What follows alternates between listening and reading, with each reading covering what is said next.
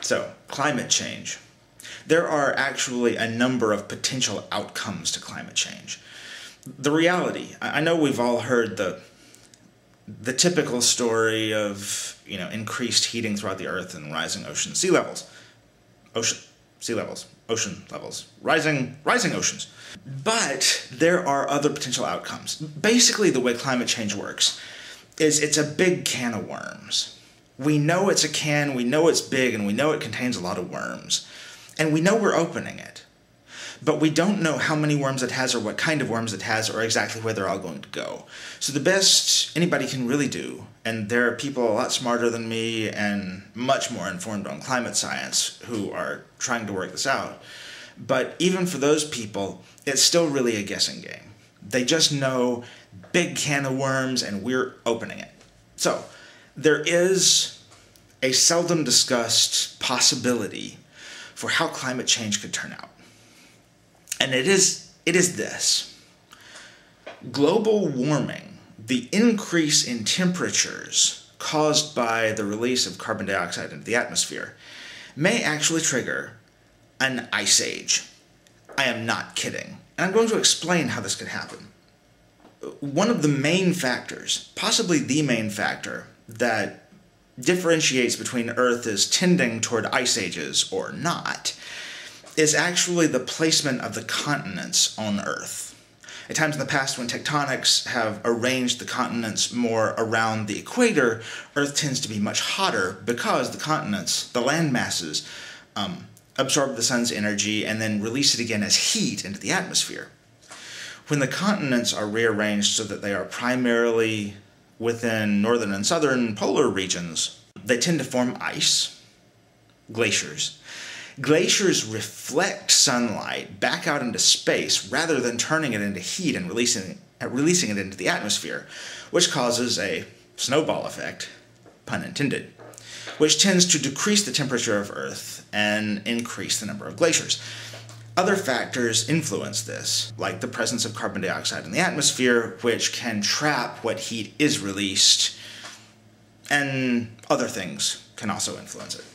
But it's the important thing here is to remember the placement of land masses on Earth makes a big difference in whether Earth tends toward glaciation or not. Now, right now, Earth is kind of in an in between scenario. It has land masses near both poles, but it also has quite a bit of land mass around the equator. So Earth can kind of go both ways. And that's what it's been doing for quite a while now. There will be thousands of years of glaciation, along with usually shorter periods of interglacials, like we're living in now when Earth is warmer and the glaciers recede. It is almost certain that eventually we're going to have another ice age, because of the layout of the continents. There's no way to know for sure how long this is going to take or when it's going to happen, but it is very likely to happen again. It's almost certain to happen again in the future. There are several factors that have been um, contributing to the relatively warm period we're having now. The reason we're not currently in an ice age.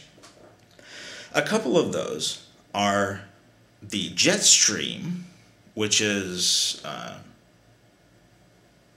a high altitude, high velocity current of air um, in the upper atmosphere, and the Gulf Stream, which is a current of water.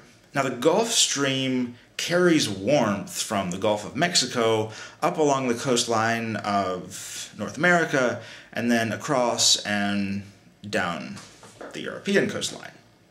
It is one of the main reasons that uh, Great Britain and Newfoundland and Northern Europe and northern parts of Canada are not glaciated.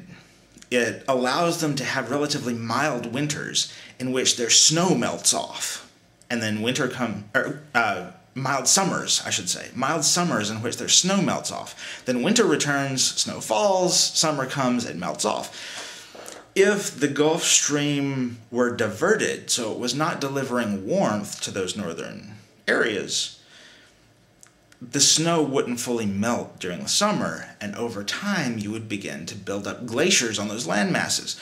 Britain, Newfoundland, Scandinavia, and uh, northern Canada would all start to be unlivable within probably a relatively short period of time. Diversion of the Gulf Stream is one potential effect of glacial runoff. Yes, it is true, the melting of the glaciers may lead to glaciation. I know.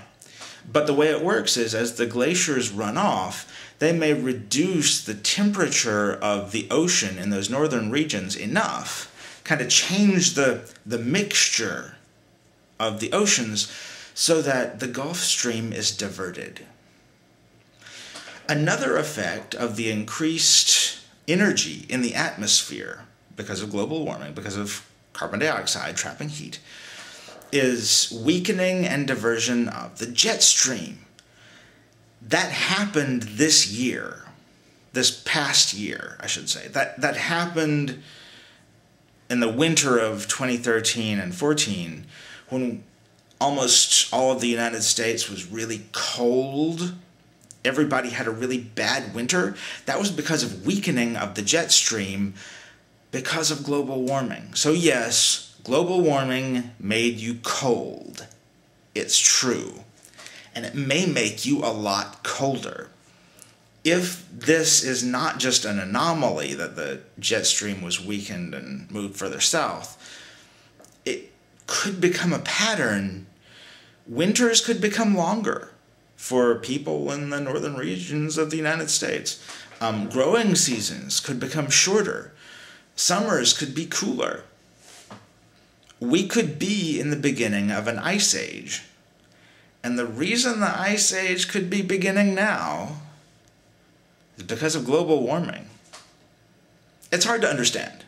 And I think that's one of the reasons, very likely, you rarely ever hear it because scientists think a population that doesn't understand the difference between there, there, and there probably can't understand how global warming can lead to an ice age but it can.